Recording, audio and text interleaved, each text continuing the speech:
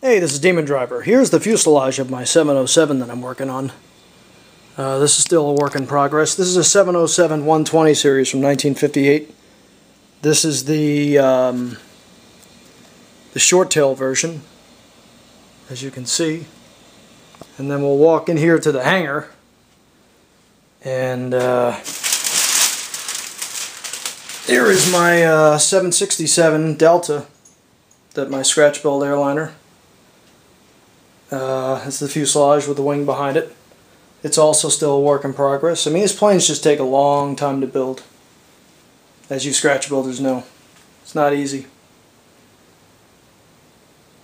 And then right here is my infamous uh, 111, BAC 111.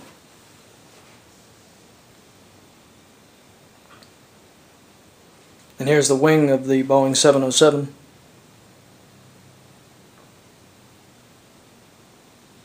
Behind it, right there.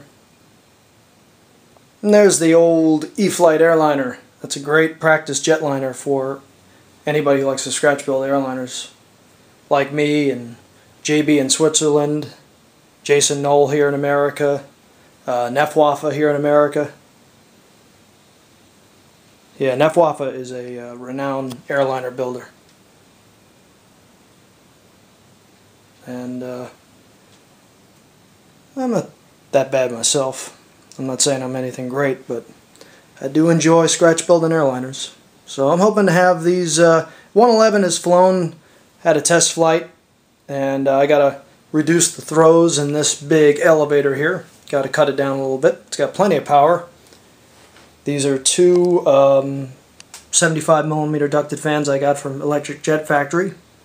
They have uh, HET Typhoon engines, and they're put out about three to four pounds of thrust each. And this plane is heavy. She weighs about maybe uh, six pounds, but she's got about at least a one to one thrust to weight ratio. So that should be enough to get this bird in the air.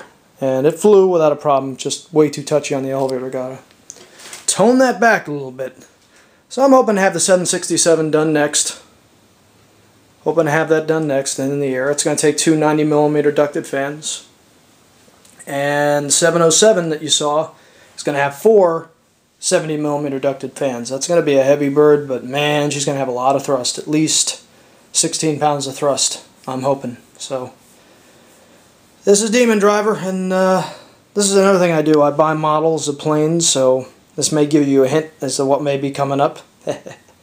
but, um, you know, I'm here to scratch build, and I'm here to give anybody pointers and help. And I'm also here to learn things, so you guys have any ideas for me as to how to, uh, you know, any ideas as to how to build a better scratch built, then give them to me, because I'm always uh, willing to learn. I'm always open to new ideas. So, this is Demon Driver signing out from the Demon Driver hangar, or uh, Demon Driver Insane Asylum, however you want to call it.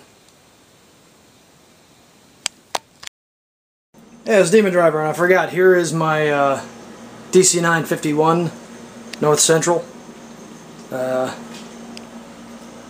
I'm running. I'm just running out of room for all these damn planes. So this is sitting in my kitchen here, as you can see, and um, she really doesn't need that much work.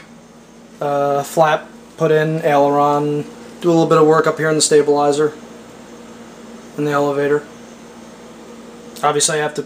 I'm going to put the 111's uh, power system on this when I'm when I want to fly this or I'll just buy another set from Electric Jet Factory.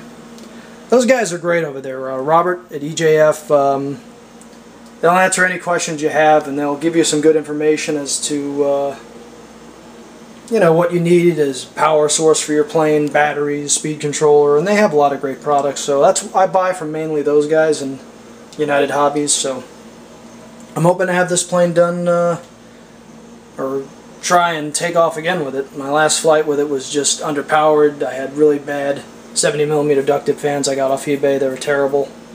And, um, you know, I know if you guys know about jet airliners and you know about the uh, DC-9,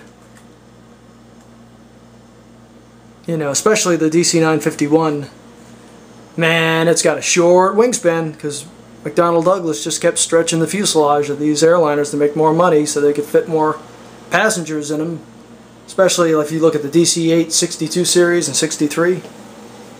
Man, it's like a pencil with wings. But the same thing is true with the DC-9, especially the DC-9 51.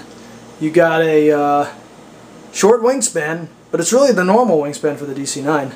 But they just stretched the fuselage out. Then they went beyond that and then went to the 80 series, the DC-980, which became the MD-80. Then here's the bottom. Here's the bottom of the uh, DC-951. This is the bottom of the rear fuselage, all chromed out, all pimped out. Here are the uh, engine nacelles, as you can see. There's the engine nacelle. One of the engine nacelles for the DC-9. This goes over the EDF, you know, fits up over here. Just uh, plastic bottles, painted and taped together.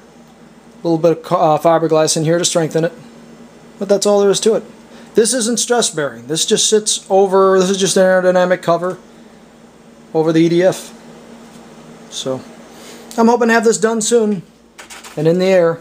So, this is Demon Driver signing out from the Demon Driver Aircraft Factory. Take care.